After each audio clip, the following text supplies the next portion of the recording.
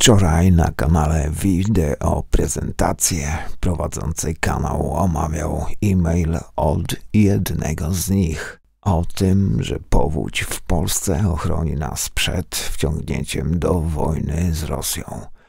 I tak też się stało.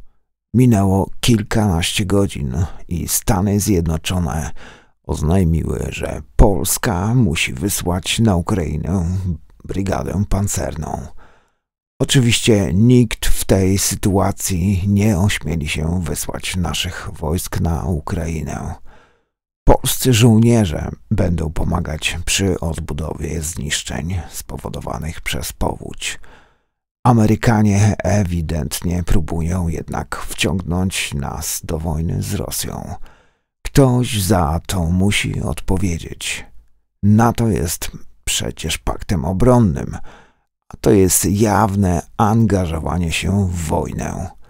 Pewna grupa ludzi musi za to ponieść konsekwencje, nie tylko odwołaniem ze stanowisk, ale jeśli to możliwe, również karnie, zarówno w Stanach Zjednoczonych, jak i u nas.